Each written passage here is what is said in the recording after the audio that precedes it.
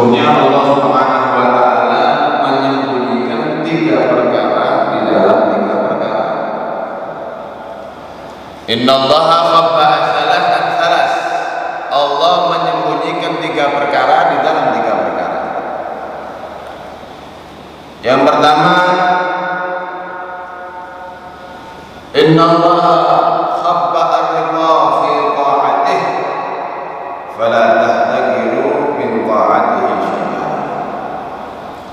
Sesungguhnya Allah Subhanahu wa taala menyembunyikan ridhonya Allah di dalam bentuk taat kepada Allah. Oleh karena itu kita sebagai hamba Allah, sebagai manusia jangan pernah sedikit pun meremehkan daripada bentuk taat kepada Allah Subhanahu wa taala. Kenapa?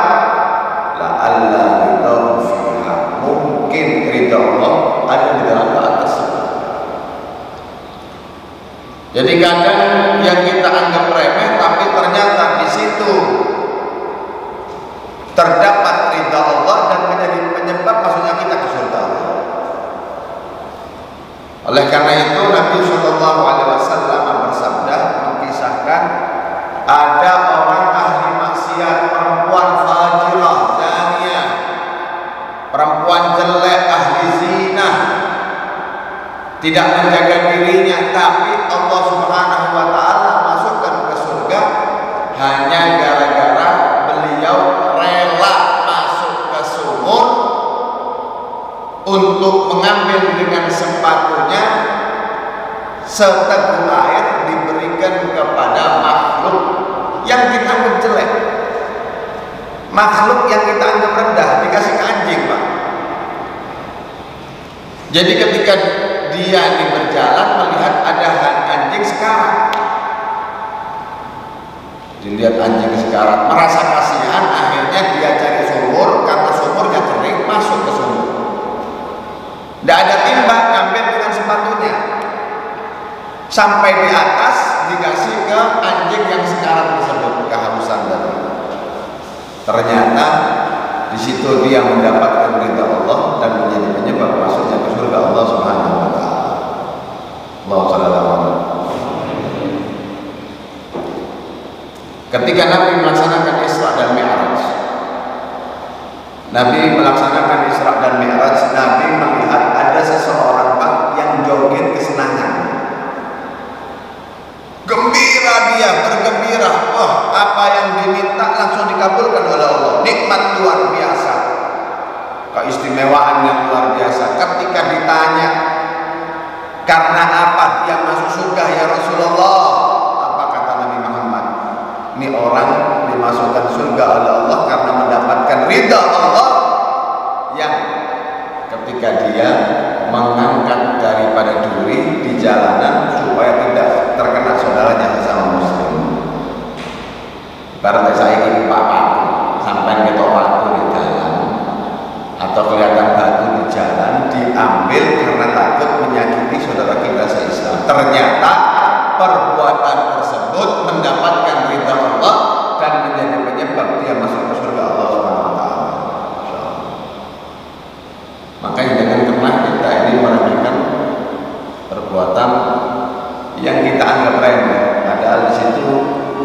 terdapat ridha Allah Subhanahu wa taala. Dikisahkan juga Pak ada namanya imam besar Bisir bin Haris al-Hafi. Bisir bin Haris al-Hafi ini dia ahli maksiat. Maksiat setiap hari. Hobinya mabuk. Singkat cerita ketika dia mabuk didapatkan ada di jalan dia menuju pulang samping sampah gitu ada kertas maktub di dalam kertas tersebut lafaz Allah Bismillahirrahmanirrahim ini lafaz Allah mabuk ini pak orang dalam keadaan mabuk kelihatan lafaz Allah tak pantas ada lafaz Allah Allah garing Allah maha tinggi masa ditaruh di sampah ya apa orang-orang ini akhirnya singkat cerita dia rabah kantongnya dia rabah kantongnya ada empat dirham. Empat dirham. Sebelum pulang dia mampir ke toko minyak. Toko minyak saya mau beli minyak. Carikan minyak yang paling bagus yang paling harum. Berapa harganya? Dua dirham. Kurang mahal yang paling bagus yang paling istimewa. Nih saya punya uang 4 dirham carikan minyak yang paling bagus.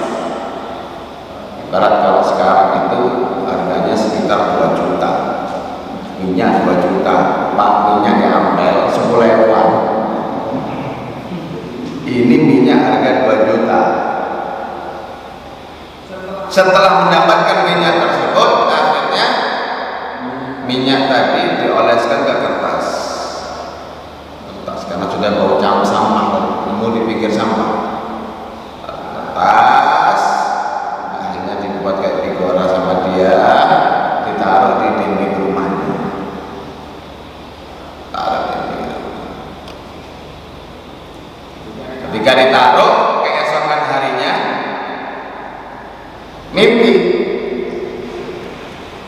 ini Bisir tadi mimpi di dalam mimpinya nada mengadin terdengar suara panggilan jadi ada cahaya cahaya yang cuma bersuara gitu aja.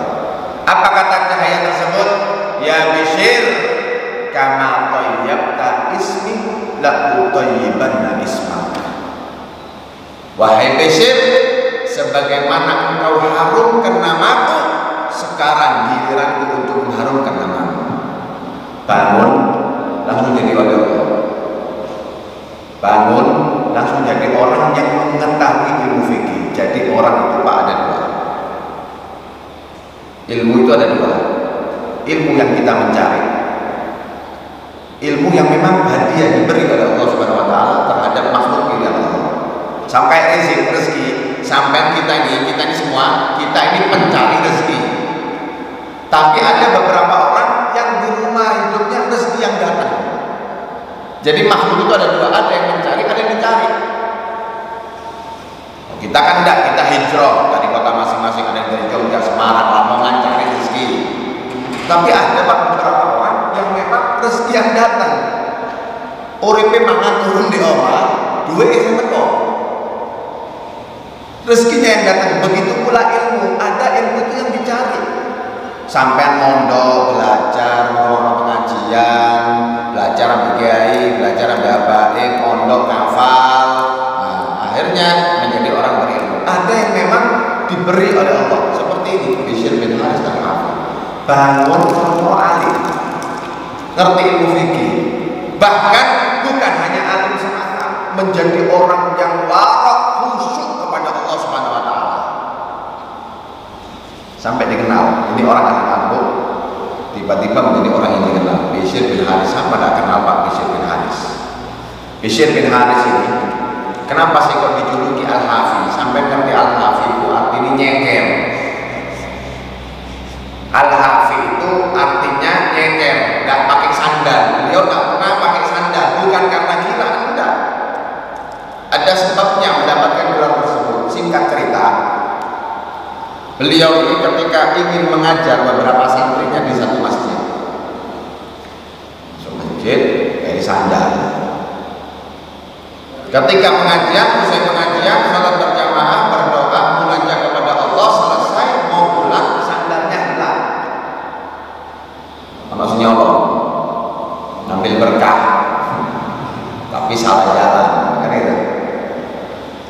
Sandal beliau ini hilang. Nangis Bishr bin Haris ini. Belum mendapatkan julukan Al-Hafidh. Nangis luar biasa. Yusuf Imam jangan nangis, sandal kehilangan sandal nangis. Ojo ini. Masa ustad kehilangan sandal nangis. Ustad kok cinta dunia. Ustad kok cinta dunia. Jangan, jangan, jangan nangis Imam. Apa kata Imam Bishr bin Haris? Suf, ana, saya ini tidak menangis sandalku yang hilang. Saya ini menangisi yang menyuri sandal. Anak ini yang anak tangisi, yang nyolong sandal ini yang anak tangisi.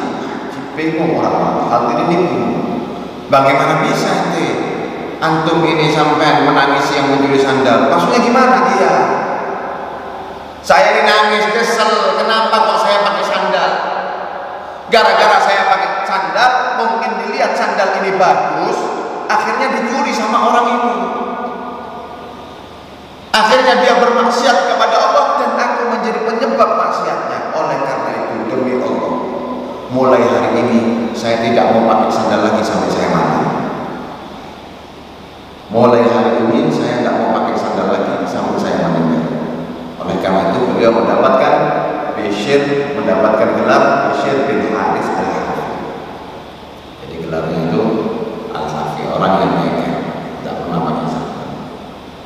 Orang ahli malu, ahli zina, ahli maksiat kepada Allah, tetapi karena amal sesuatu yang kita anggap remeh, Pak. Ya Allah, Bismillahirrahmanirrahim. Kadang kita orang lewat di jalan Kadang kita lewat dibiarkan begitu aja. Adab bersama Al-Quran. Salah satu daripada Al-Quran. Adab terhadap lafaz Allah. Akhirnya apa janji Allah? Sebagaimana